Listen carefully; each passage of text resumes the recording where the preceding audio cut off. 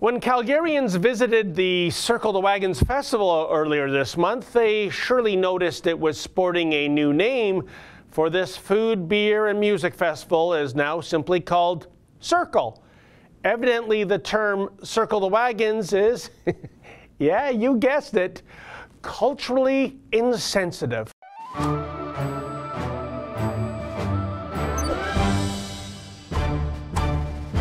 All familiar with the term circle the wagons. It dates back to the Wild West days when those in a wagon train would literally circle their wagons to protect themselves and their livestock from attack by hostile natives. Post wagon train days, the phrase lives on as a metaphor for a defensive strategy. Do a Google News search, as I did the other day, and you will find reams of stories that contain the phrase circle the wagons, sometimes even in the headline. For example, from Salon.com, Trump's White House begins to circle the wagons. And from the Burlington Times, Tar Heels Fedora says, circle the wagons, score more TDs.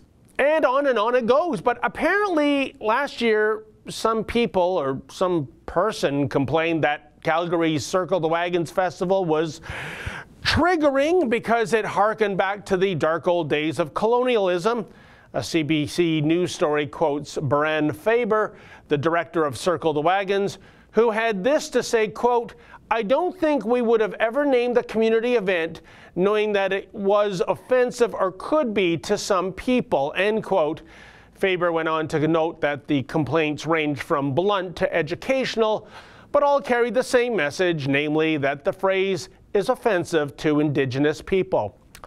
Really?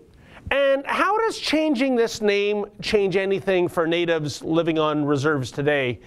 Do the vast majority of them even care? Let's keep in mind that circling the wagons was a defensive, not offensive strategy and it was being conducted to avoid being ventilated by arrows.